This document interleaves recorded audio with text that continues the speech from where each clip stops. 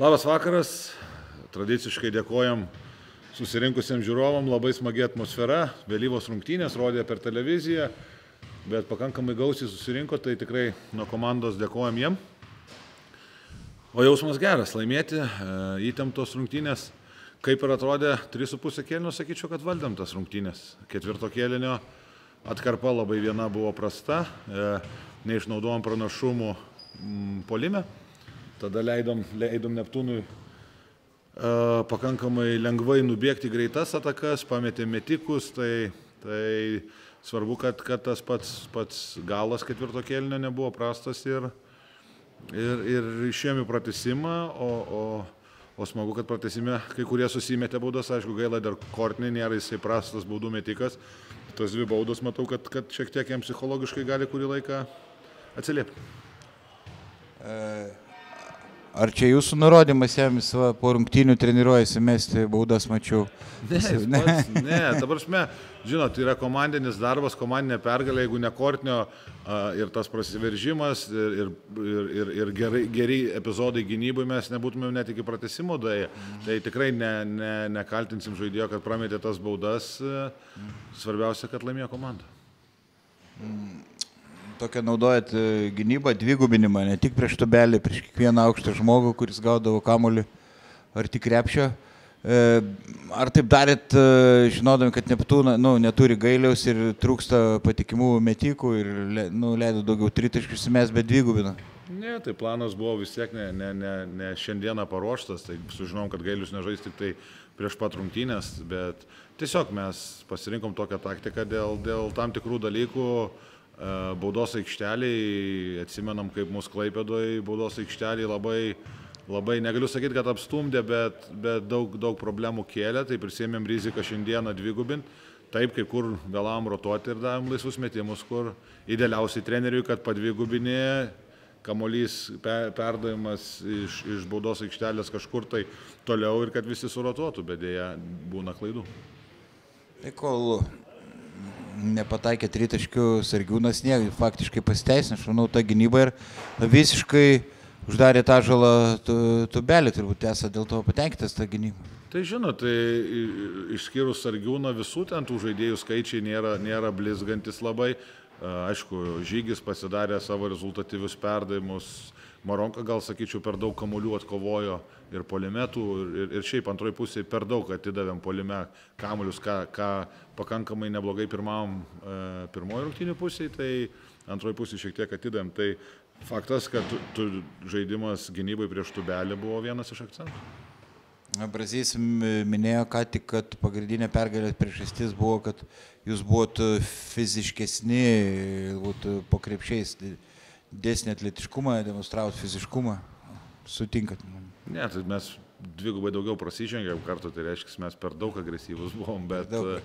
ne, tai išsibaudavo keli žmonės, tai, bet vėlgi, aš tikrai šiandieną negaliu apeliuoti, kad ir kaip rungtynės būtų pasibaigusios, apeliuoti žaidėjų uh, pastangas. Tai tas svarbiausia, o tai kai yra pastangos, tada yra kova dėl kamolių, yra, yra kažkokie tai tie prie tų dvigubinimų, nė, nė, nėra baimės priimti smūgio iš besisukančio žaidėjo, tai džiaugiamės. Dar sezonas, aišku, nesibaigė, bet ar galim sakyti, kad tos permainos komandoje, kai Ebo atėjo vietoj Bašičiaus, vietoj Oko Koro, nu, pasteisino ir komanda tapo stipresnė? Tai visada darai keitimus tam, kad komanda, komanda žaistų geriau, tai žinot, Dabar klausimas, kaip būtų buvę su anais žaidėjais, bet e, žiūrime dieną iš dienos, rungtynės iš rungtynių. Turim dar vienas rungtynės Vilniui iki, iki to FIBA lango, tai, tai turim savaitę beveik laiko pasiruošti. Dabar jau aplinkėt pasvalio komandą e, turnyro lenteliai.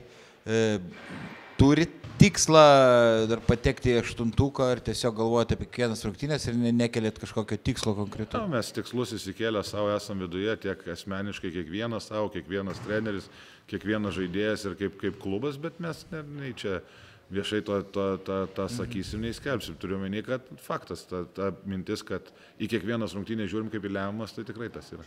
E, tai pirmiausia, reikia pasveikinti kėdainius, jie po visų tų permainų, pasikeitimų, jie tikrai padarė žaidžia žymiai geriau ir agresyviai žaidžia, ypač kai namuose jie žaidžia stipriai ir turbūt nepavyko įtikinti vyrų nuo pat pradžių, kad, kad, kad bus sunku ir leidom jiem pasijusti, leidom pasijusti metimais.